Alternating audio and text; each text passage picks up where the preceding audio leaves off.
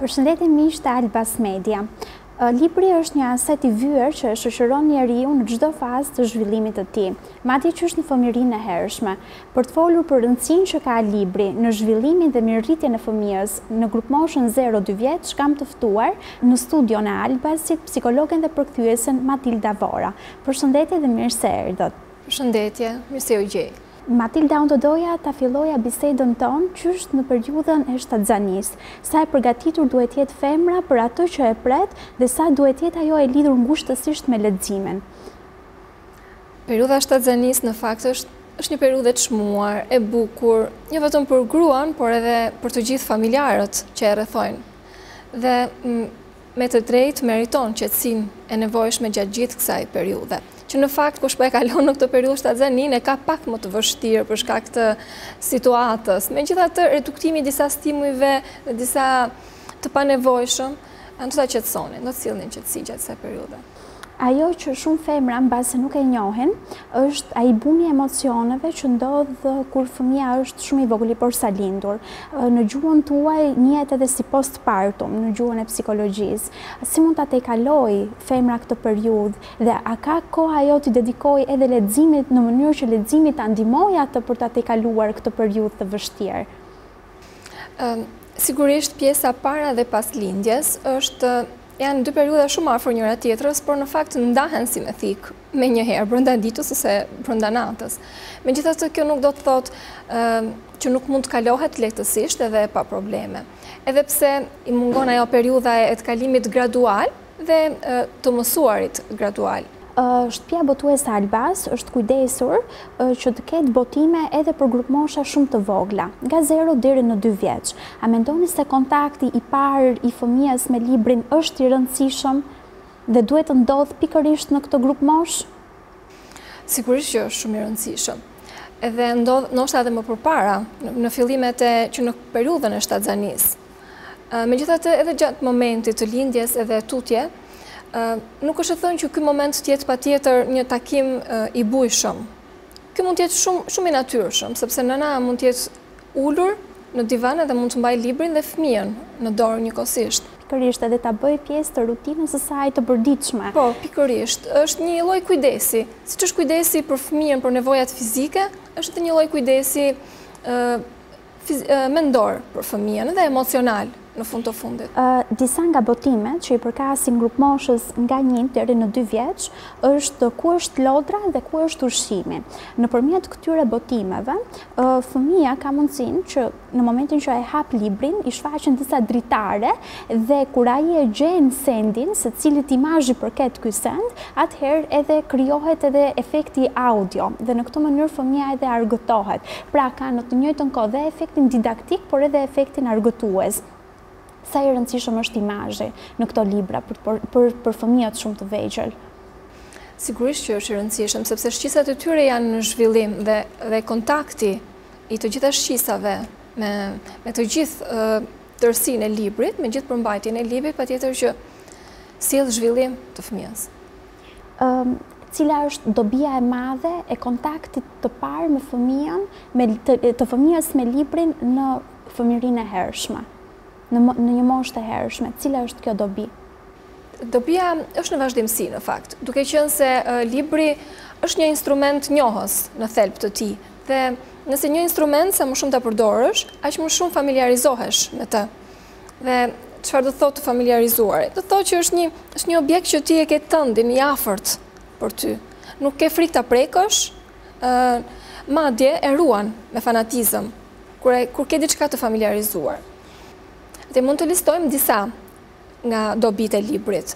Ë fillimisht mund të jetë pjesa gjuhësore, të zhvilluarit gjuhësor, fëmija është në moshën e të zhvilluarit gjuhësor, në moshën e artikulimit të fjalëve dhe të gërmave, patjetër që është një ndihmë për fëmijën. Gjithashtu mund të forcojë memorien, ose mund të ndihmojë mund të jetë ndihmë për fëmijët në momentin që do jenë në shkollë, në klasën e parë. Nuk do i kenë librat si objekte të huaja, por do t'i çmojnë ata, do të kenë ecuri edhe më të mirë në mësime, nëse këto kontakte i kanë pasur më përpara.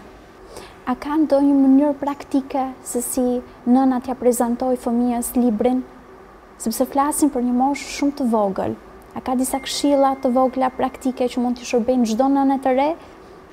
Patjetër që duke e bërë pjesë të rutinës së saj, nëna në vetvete, patjetër që është është një lloj trashëgimie, që e transmeton edhe tek fëmija, siç janë proceset e të ushqyerit në familje, e njëjta gjë nëse fëmija shikon nënën me një libër në dorë të ulur në divan, patjetër do i duket një proces normal në jetën familjare dhe më vonë do shkojë ai vetë ta marri nga biblioteka atë që dëshiron. Ashtu sikundër se janë edhe dy botime shumë interesante, të cilat i vijnë në ndihmë nënave të reja për t'ia bërë librin një lloj rutine të përditshme, siç është për shembull koha e banjës, është një libër, është faktikisht kjo është një lojë në formë puzzle-it, e cila e njeh fëmijën me ngjyrat, por e njeh edhe me format, e njeh me frutat, e njeh me numrat dhe në këtë mënyrë fëmija ka mundësi të zhvillojë edhe motorikën e tij, edhe kjo e ndihmon shumë nënën për ta për ta ndihmuar fëmijën të rritet në mënyrë të shëndetshme dhe për ta edukuar siç duhet, por është edhe për shembull laj dhëmbët, i përket një tjetër rutine të përditshme. ë Këto janë sa didaktike, por janë aq edhe argëtuese. Sa i rëndësishëm është didaktika, elementi i didaktikës tek librat për fëmijë. Sa duhet të ndërlidhet edhe me aspektin argëtues, por edhe të mësuarin në të njëjtën kohë. Në fakt, ku ka më bukur për fëmijën, se sa të mësojë duke u argëtuar. Janë të ndërthurura shumë bukur, sepse në fund fundit nxë edhe më mirë nëse ia servirim në formën e një loje. Ju keni sjellë botime me Albasin dhe një ndër botimet e fundit ju jeni, ju jeni duke e përkthyer. Mund të na thoni diçka rreth këtij botimi, cila është specifika e këtij, e këtij përkthimi, e këtij libri që ju po sillni? Në fakt, libri mendoj që është diçka e veçantë, sepse është i përgatitur në formën e një manuali, një manuali udhëzues që mund të përdoret qoftë nga prindër, por edhe profesionistë, sepse brenda mund të lexosh më tepër, që ka lidhje me interpretimin e vizatimeve të fëmijëve, ose më saktë, interpretimin e të lexuarit të emocioneve të fëmijëve me anë të vizatimit të familjes së tyre.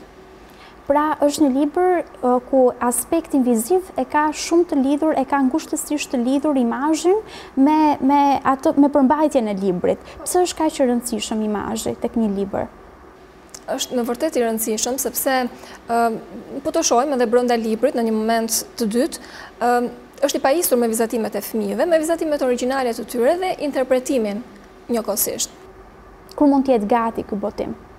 Shpresojmë që së shpejti. Besoj është në fazat e fundit dhe së shpejti mund të mund të dalë.